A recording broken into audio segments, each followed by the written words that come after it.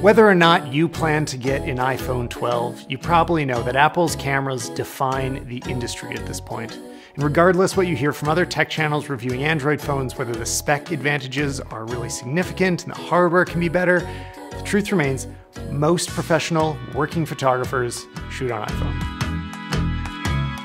We're gonna be testing both the iPhone 12 and the 12 Pro, and we're putting them up against the iPhone 11 Pro and the iPhone 10 because nobody should be upgrading every year except for tech reviewers. So whatever it is you're upgrading from, you're gonna get a bigger jump than just what's inside the 12. So let's remind ourselves what happened 500 years ago in 2019 when the iPhone 11 was released. Because whatever older phone you're upgrading from, you're going to get all these benefits too. Overall, it's been an incredible phone. We actually did a lot of tests with it. We set up a huge studio set to test the new ultra wide and see what the three lenses look like in one situation where you could take three drastically different angles all in the same place. What we're setting up today is a pretty elaborate set. Anya did all the planning here. I did. If you guys haven't met Anya before, she is uh, my partner in crime and does all of the creative direction on all of our shoots. But so, not the heavy lifting. By the way, this video was never released to YouTube. It just didn't get finished, so you're seeing it for the first time. The biggest challenge was that our studio is actually not big enough, but we needed to accommodate for all the wide, the ultra wide, and the telephoto lens. The addition of the ultra wide lens is probably my favorite hardware update Apple's ever made to the camera, and it opened up huge new possibilities. And now, a year later, I can barely remember how I lived without it. I've been using the Pro, so that means I also have the telephoto lens, which is very helpful, but I think a little bit less necessary. I don't use it as often as the wide or ultra wide, but it does extend the reach of your camera so you don't always have to move physically closer to your subject. The downside is that the telephoto wasn't as sharp as the primary lens, but if you're just posting to Instagram, stories, TikTok, whatever, it's still a big improvement over digital zoom. And let's not forget that the iPhone 11 introduced night mode and deep fusion, which were massive jumps forward in Apple's computational photography.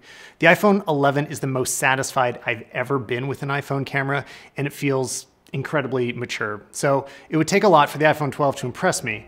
So let's see if it does. So yesterday we were kind of panicking because a snowstorm hit just as the phones arrived, but fortunately we were wandering through Calgary and ran into Snap Photo Club, which I had never heard of and no idea existed, but it's exactly what we needed. It's just like a bunch of totally different studios that you can rent and shoot in. And uh, I couldn't ask for anything better to shoot some iPhone tests. The big new feature is a brand new wide or normal camera which is a 1.6 aperture instead of a 1.8. And this is coming to all of the iPhone 12 models, by the way, whether you're interested in the Mini or the Pro Max. And by the way, those aren't gonna be coming out until November, so you're gonna have to wait a little bit longer for those reviews. If you're not used to thinking about aperture numbers, 1.6, 1.8 may not mean a lot. So I'll compare them to some common professional lenses. 50 millimeters, for example, is a very common standard lens on full frame sensors. Now, the best of the best right now for Canon is the 50 millimeter 1.2, and that costs $2,300. So that's crazy fast. Not many photographers shoot like that very often.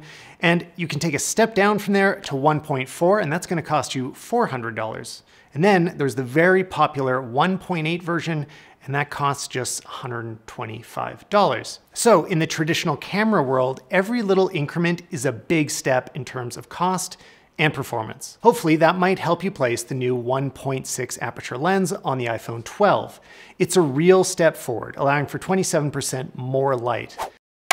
This is what I'd call medium low light. It's not dark enough to go into night mode, so instead the iPhone 12 is gonna use deep fusion, which is where it enhances these moderately low light situations.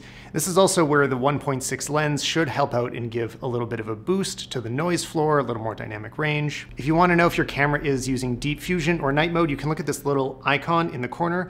If it's white, that means that it's gonna use deep fusion, and if it's yellow, it's gonna be night mode. If it's not there, it's just taking a regular smart HDR photo. In our tests, it has the most impact in low light, but not so dark that you could call it night mode. Compared to the iPhone 11 Pro, it's a tiny bit sharper and cleaner, but if we compare it to the 10, the difference stands out more. The biggest jump forward from the 10 is what an amazing job Smart HDR is doing, holding on to the colors and the highlights in those neon signs. Even though those phones had their own Smart HDR, the highlights would completely blow out. And this has gradually been getting better and better, especially starting with the 10S, 10R, I've been loving Smart HDR ever since then. I also wanted to see what the close focus macro shots look like, which are good. Not a crazy difference from the 11, but you can see that the bokeh starts to bloom a little bit bigger thanks to that wider aperture. Which if you didn't know, you can get real bokeh on these cameras. You don't need to use portrait mode. You just have to get closer to your subject and then the background naturally starts to blur. So now it'll blur a little bit more. And by the way, lots of reason to be excited for the iPhone 12 Pro Max because that will have a larger sensor and that also contributes to narrower depth of field, blur your background. So when that comes out, I'm gonna talk about it a lot, especially on the podcast. The bigger jumps in quality that we saw were on the software side, where night mode and deep fusion are now available on all of the lenses and cameras of the iPhone 12. To do these tests, I wanted to try out my invention that uh, I've been hinting at on Twitter. It's the MagSafe tripod, first of its kind. Um, mine is just kind of crappy and homemade with a switch pod, but the magnet does a great job of keeping the phone in place. And obviously, I can't wait to see what some real accessory manufacturers offer in the coming months. In this sample of the ultra wide lens, we can see Deep Fusion at work, and it just blows away the iPhone 11 Pro. Way sharper, way more detail, and then things get even crazier when we turn off all the neon lights and night mode kicks in. The iPhone 11 ultra wide is struggling to even make out the room. It's muddy, soft, and frankly unusable. And now when night mode kicks in, we have a real photo. And keep in mind, the ultra-wide lens and sensor are unchanged on the iPhone 12. This is all computational photography at work using that new A14 processor with a massively doubled neural engine. And the image signal processor on that thing, all of that integrated chip is so much of the reason that these photos look great. Number one on my wish list for next year's phone is an all new ultra-wide lens and sensor. I absolutely love shooting that wide, but I just wish it was on par with the regular wide angle. Okay, this next one, I know this won't be a good photo, but Apple says that they've improved what faces look like in the corners of the ultra wide. So this next photo, this is for science. They have improved the sharpness and the distortion, especially in the corners, but it's just a marginal increase. I really want to see this take a leap forward so that the ultra wide is never a compromise in image quality. Portrait mode has also been improved on the 12 and the 12 Pro, doing a visibly better job at cutting out the subject. Usually there's a lot of trouble around glasses or gaps between arms and hands, but it did much better than in previous years. Yeah, yeah, but, keep moving. Yeah, keep moving around. These test shots you're seeing here were shot on the 12 Pro, which has the brand new LiDAR sensor, which instantly scans environments in 3D.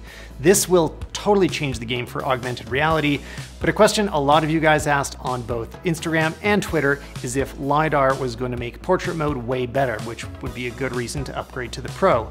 According to Apple, it's only active in the dark. When the normal cameras start to struggle, LiDAR is basically night vision and can focus perfectly, but it's not precise enough to do that cutout around the subject, that's still using the two lenses. The selfie low light portrait mode looks especially good, I was really happy with how those turned out.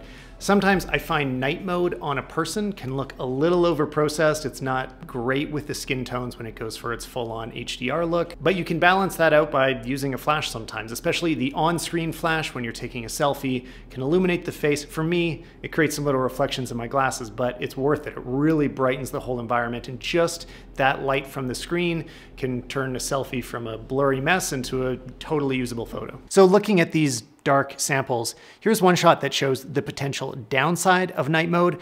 On the ultra-wide lens, it pushes my skin a bit too far. And in this test, portrait mode had a much better and more natural result, and you can only get that on the 12. Night mode and portrait mode at the same time, very natural results. If we compare it to the primary wide angle lens on the 12 and the 10, you can see that the 12 is crazy sharp, well, the 10 is just a fuzzy blur. I'd honestly rather something in between, but I'd, I'd love to know in the comments, what's your favorite? Next, I'd love to show you some samples of Smart HDR3, but unfortunately, Canada came early this year. The morning our phones came in, winter came with it, and unfortunately there is no dynamic range outside. When the 12 and the Pro Max come out, I will put it to the test, but for now we'll just have to look at Apple samples, which look great.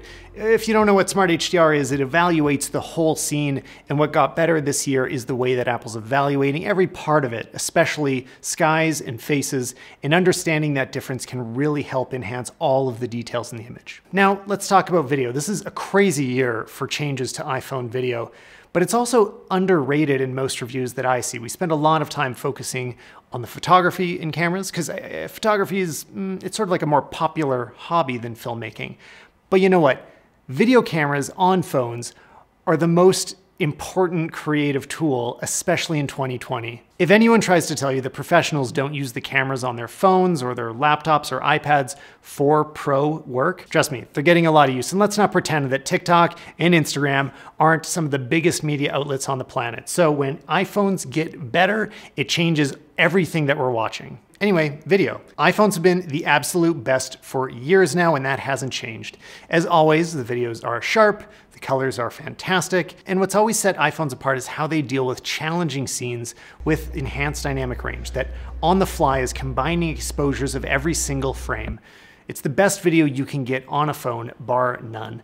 And now you've got Dolby Vision HDR 10-bit on your phone, which is insane. But it's also one of the most confusing big features on these new phones, so we're gonna have to spend a minute with it. And also, a lot of people were confused. They seem to think that it only came on the Pros. I'm not sure what Apple said that confused everybody, but on the regular 12, it's available up to 30 frames per second, and on the Pro models, it's up to 60 frames per second. Let's try to understand Dolby Vision by starting with an example. So looking at this video, it looks great. You can see that new HDR popping out at you. Or can you? Actually, you can't, because this video is just published in standard dynamic range, as are most YouTube videos. See, HDR or high dynamic range means a few different things, which is why it's hard to talk about.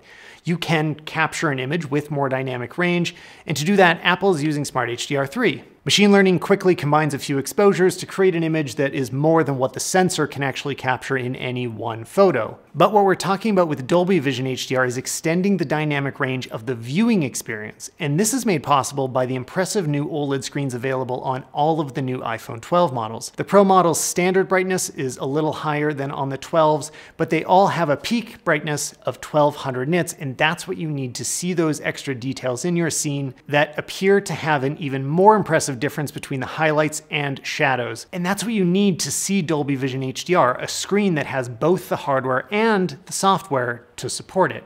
So when you look at this sample, it's being displayed in standard dynamic range. I had to do a little adjusting to make it look correct.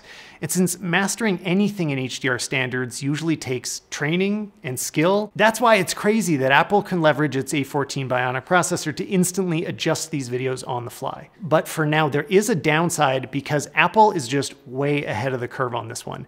Just like when they led the industry with their high resolution Retina displays, consumer video will need to be dragged forward to catch up with the iPhone 12. Until then, you're likely to see some inconsistent colors as your videos are used on different hardware and software that isn't ready for these new HDR standards. So for the time being, I probably won't be shooting in HDR very often until the workflow gets easier. I expect apps will get updated, have more options like shooting in 10-bit standard dynamic range, that'd be very useful. Right now, the best way to experience 10-bit Dolby Vision HDR is shooting and viewing on an iPhone 12. Another big feature we can't test yet is Apple Pro RAW, which is available on the 12 Pro and 12 Pro Max. We already could shoot RAW, even on the iPhone 11, using apps like Halide, which, by the way, just had a massive update to Halide 2. But Apple promises that their new RAW format will use all of the same software intelligence as Smart HDR, Deep Fusion, and Night Mode. So I've been talking to camera app developers like Sebastiaan de With on the podcast about how important RAW really is on these iPhones. Uh, okay, so you are the biggest RAW expert I know that uh, not inside of, of Apple. The iPhone 10 already had some computational photography, but then in the keynote for the iPhone 10s, they said, hey, here's this thing called Smart HDR. It's going to blow your mind. It makes all images better. But the raw files did look a lot worse all of a sudden because what the iPhone was doing is doing a lot of that pipeline, a lot of that computational improvement purely on that JPEG. Now, what Apple's been promising with this new Pro RAW format It says on the website that it's going to get some of those smart that smart data and bundle it with your raw. So you don't just get the raw, but also all the things that the camera brain would have done. So should you upgrade? I don't know. It depends which phone you already have. It depends how much money you have. It depends on a million things. This is 2020. Don't put pressure on yourself to go pick up a new phone. But once you've decided you're getting an iPhone 12, okay, this is the hard part. Which one do you get? There's a lot of options this year. Between the 12 and the 12 Pro, they are effectively the exact same size. They both have new OLED screens, they both have the same peak brightness, but the Pro has LiDAR, RAW, and that 60 frames per second Dolby Vision. Here's how I'd think about it for now. The 12 is the right place to start for most people. You might even forget what you're missing out on. If you start with the 12, you're probably just gonna be happy with it. But the iPhone 12 Pro starts at 128 gigabytes. And since I would say that 64 gigs is too small for anybody that really cares about photography or filmmaking, it means that the upgrade price to the Pro is actually closer to $100. So basically, if you feel like spoiling yourself, go for the Pro. You deserve it. But if you really care about photography and filmmaking, you will hold out just a little bit longer and watch my review of the iPhone 12 Pro Max because it is the new best of the best and we don't even know how good it is yet. We haven't seen samples and it could be a really big deal. So hit subscribe for more iPhone camera tests.